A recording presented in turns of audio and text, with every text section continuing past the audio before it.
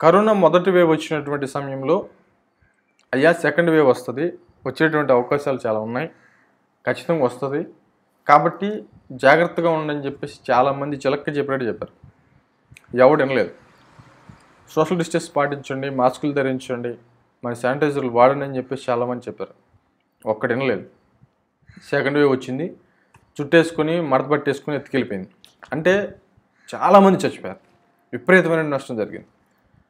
మరి అది కూడా కొంచెం తగ్గుముఖం పడుతున్నటువంటి పరిస్థితి ఉంది. రాష్ట్రాల్లో కూడా అక్కడక్కడ పరి అంటే పరిస్థితిని బట్టి మరి కర్ఫ్యూ సడలింపులు కూడా జరుగుతూ వస్తున్నాయి.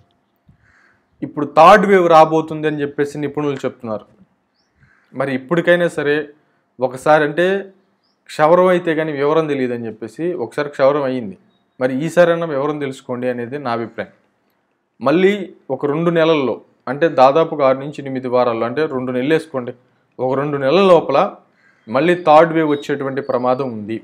కాబట్టి రిలాక్స్ అవ్వటానికి వీలు లేదు మాస్కులు ధరించాల్సిందే సోషల్ డిస్టెన్స్ పాటించాల్సిందే శానిటైజర్లు వాడాల్సిందే. మరి ఇది చేసుకుంటే థర్డ్ వేవ్ కొంత కంట్రోల్ అయ్యేటువంటి అవకాశాలు ఉంటాయి. లేదు మళ్ళీ సడలింపు వచ్చింది ఆ వచ్చినప్పుడు చూసుకుందాం అంటే మాత్రం ఈసారి మరి మడతేసి చుట్ట చుట్టి తీసుకెళ్ళిపోయేటువంటి పరిస్థితులు అయితే ఉంటాయి. ఒకసారి ఆలోచించుకుంటే బెటర్ లేకపోతే ఎవరు ఇష్టం